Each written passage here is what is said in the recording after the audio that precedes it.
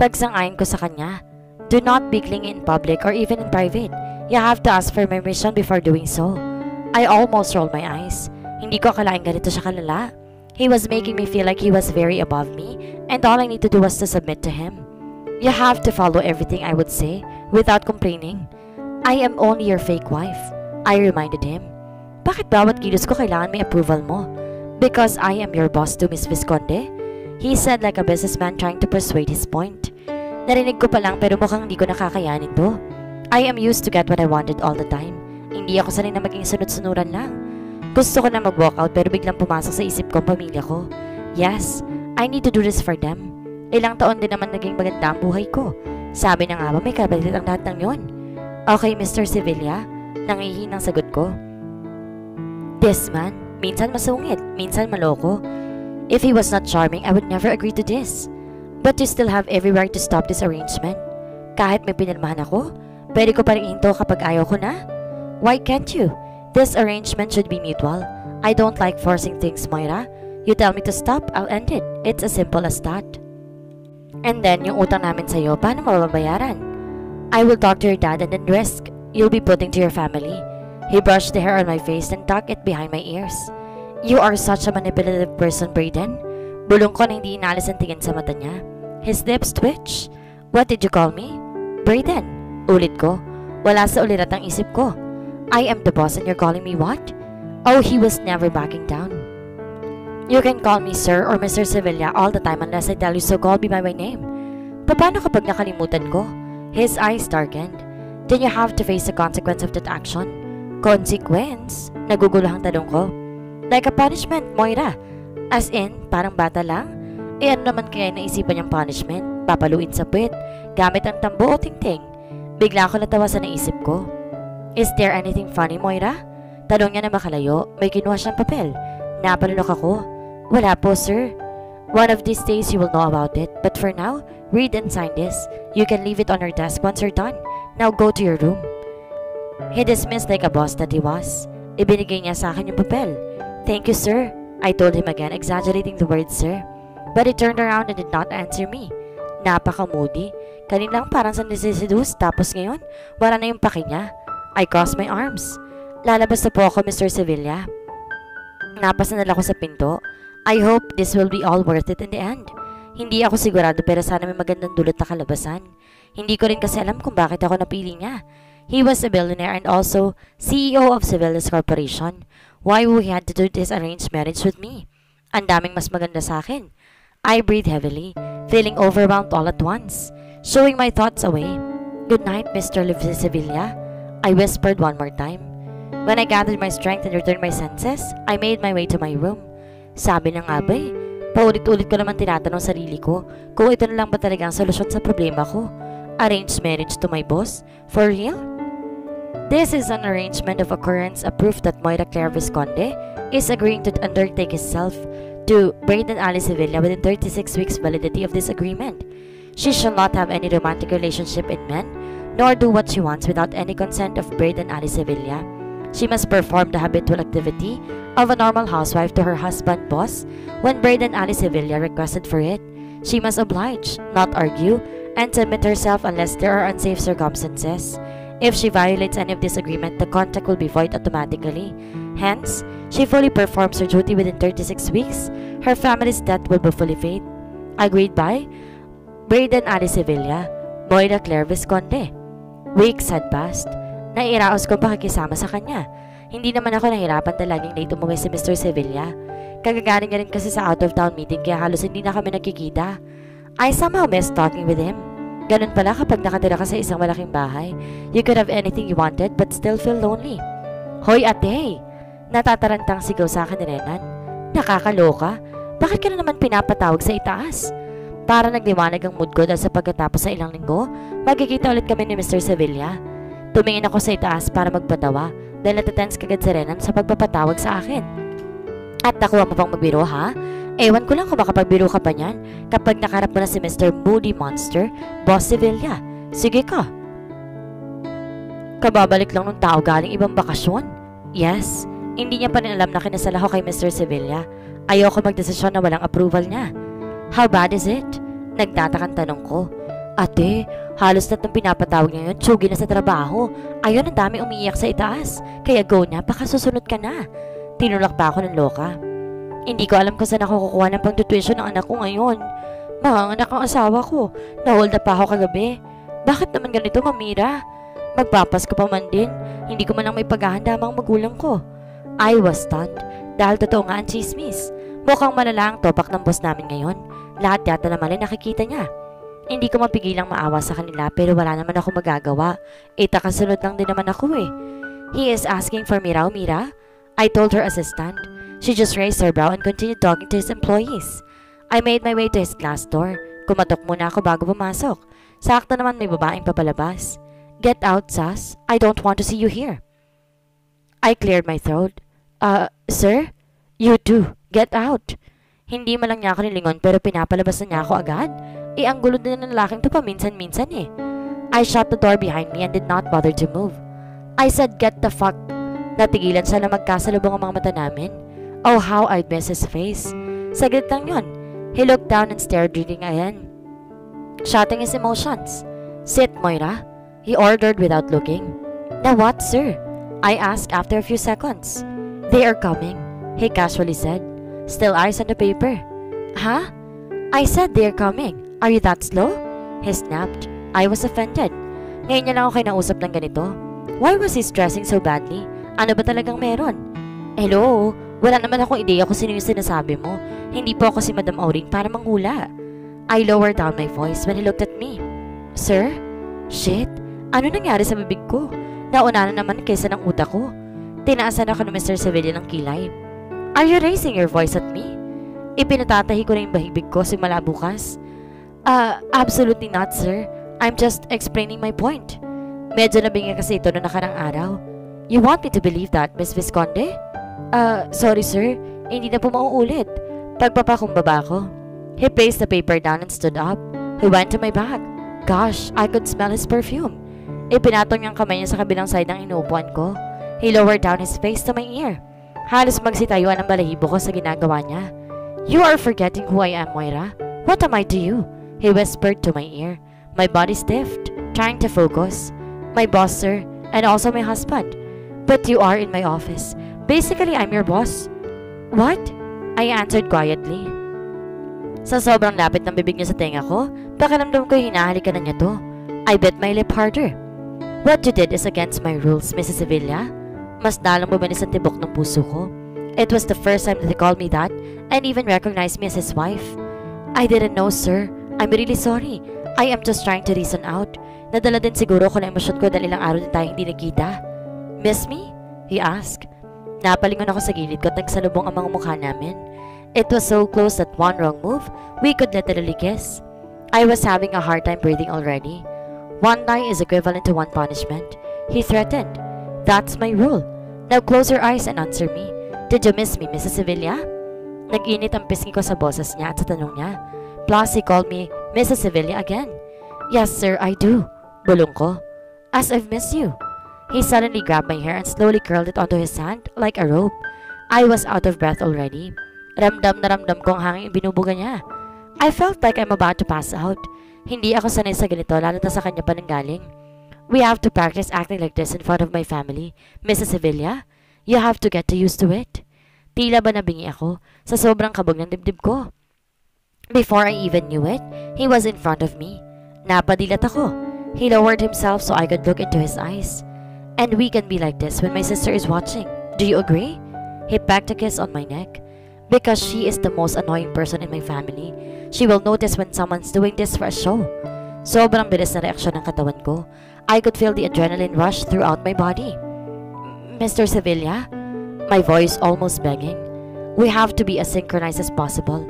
Do not decide for yourself because everything you do will reflect me. I own you, Moira. Do not forget about that. Never, sir. Bumitaw ang kamay niya sa buhok ko at hinila ako patayo. I gathered my strength not to shake dahil walang lakas sa mga tuhod ko sa ginagawa niya.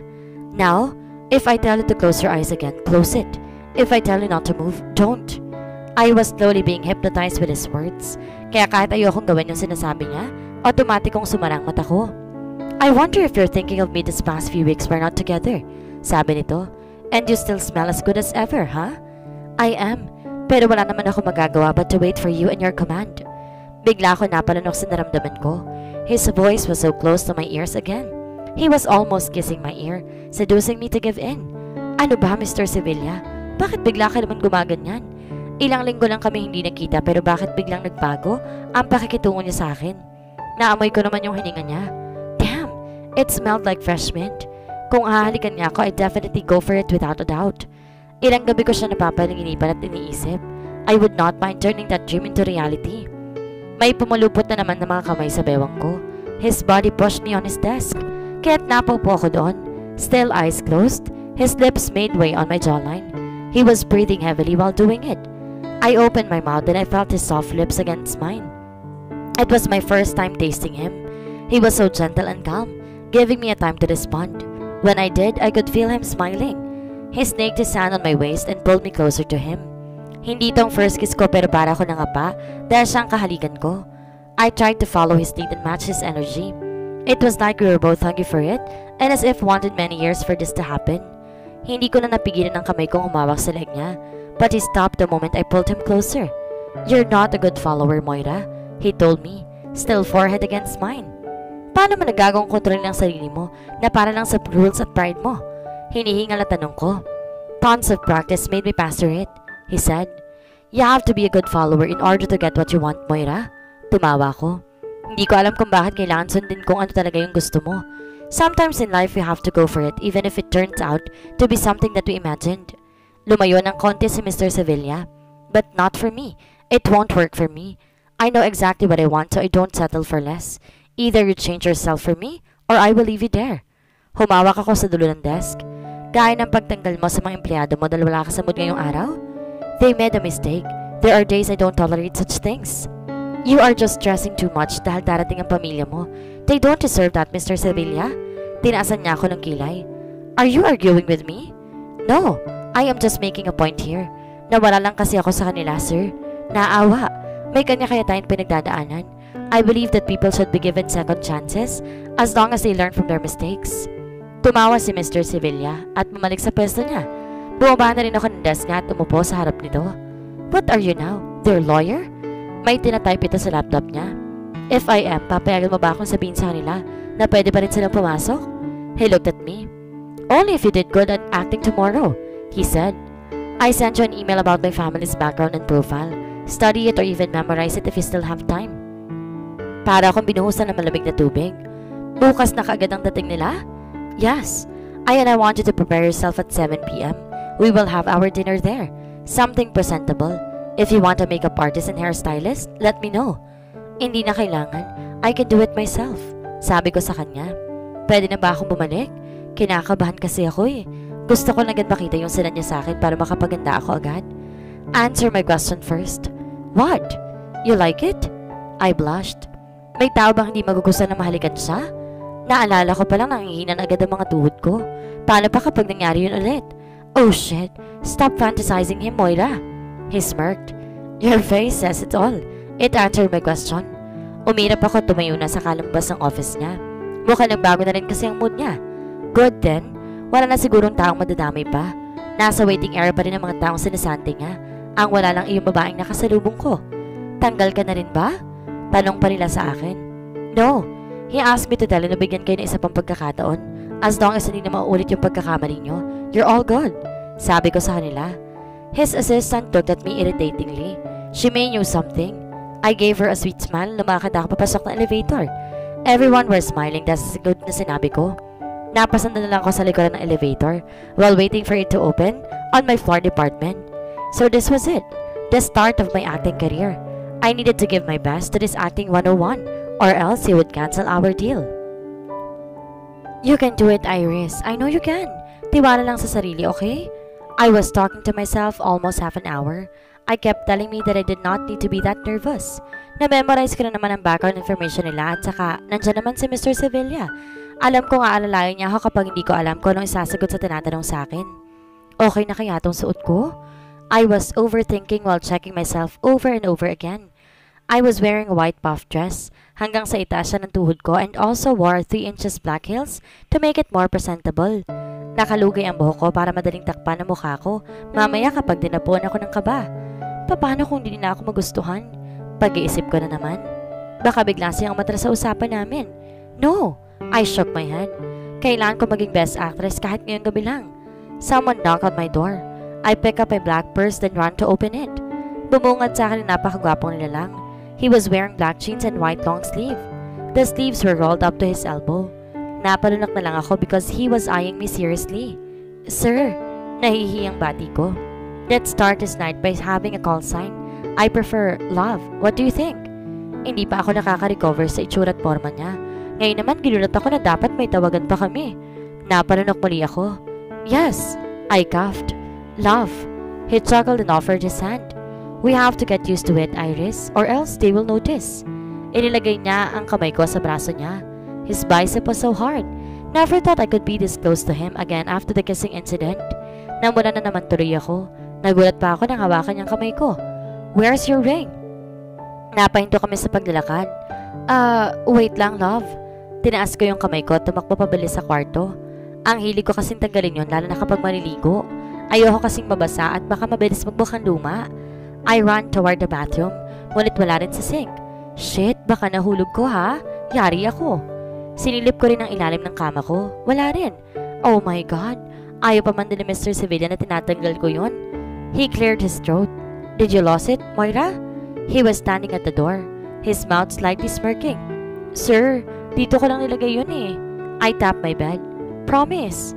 I opened the drawer once again just to make sure pero wala pa rin. San luparap ko pa talaga nilabag ang mahiwagang singsing na yon? Moira, what did I tell you? He started walking to my direction. Sobrang seryoso ng mukha niya. Mabilis akong kinabahan. Sir, wait a minute. Tinaas ko yung dalawang kamay ko. Give me more time. Makikita ko rin yon, please. Mas lalo pa siyang humakbang papalapit sa akin. I was walking backward until my back reached the bed. Napaupo ko na at ginawa akong pagtungkod ng kamay ko habang nakatingala sa kanya. I already told you not to remove it, didn't I? He asked seriously. Napalunok ako dahil bigla siyang umupo sa harapan ko. He placed his hands to my both sides. Para ako nahirapan huminga dahil malapit siya sa tuhod ko. Sinasabi mo na nga, sir. Nauutal na sambit ko. Nang dahan-dahan siyang tumayo at lumalapit sa kinaupuan ko. My back was slowly falling at the bed behind me. Papalapit din ang papalapit yung mukha niya sa akin. Hahalikan niya ba ako ulit? Not that I had a problem with that, or I would go for it and give it another try if he would. Should you be punished for it? He asked in a sexy tone. Or I will let it slip. Napapikit pa ako. My mind was already imagining his lips on mine. Mr. Sevilla, I moaned. Then I heard him chuckle. What? I popped my eyes open. Bakit ka tumatawa? Umayos siya ng pwesto at umapo sa tabi ko habang nakahiga pa rin ako. Because you're still looking forward for another round of kiss? Yes? He said teasingly. Nagtakip ako ng mukha gamit ang kamay ko. Nakakahiya lang. Kailan pa ba ako naging assuming sa buhay ko? Laging ang mga lalaki nagpa-first move sa akin at ganoon. Alam ko kung kailan nila ako gusto halikan. I put down my hands. I'm not. Depends ako. Saka, ahalikan mo naman talaga ako eh. Taas to sabi ko pat bumangon. Of course not, Moira. I'm just playing around and waiting for your reaction. Should have took a video. He laughed again. My heart fluttered. That is so priceless. If I was not being humiliated in a fun way right now, I would have shrugged it off and enjoyed the moment. Minsan ko lang siya makitang tumatawa Kadalasan sa trabaho, lagi siya nakasimangot at kinatatakutan ng lahat. Who would have thought na may ganito palang side si Mr. Sevilla? Napangisi ako bigla na may maisipan ako na gawin. What do you think you're doing? I stared down at him na magpahiga siya dahil sa pagpatong ko ng biglaan sa kanya. His face was shocked and his mouth formed an O. Ang sabi mo, mag-practice tayo kung paano haharap sa pamilya mo. Gawain ng mag-asawa, hindi ba? Painosenteng tanong ko pa. You can't do this just because you want to. You have to ask permission. I made a small grinding move. He stopped moving as I put a spell on him. This was the real priceless moment for me. Isang Braden Alice Sevillang napahinto sa ginawa ko? Do I really have a charm towards him? He was stunned for a few seconds then held my waist gently. Ako naman ang napalalisa sa ginawa niya. But if you don't want to go to my parents' house anymore? He traced my waist down to my legs that was on his side. I'm a very persuasive man, Moira. Tell me what you want so we can compromise.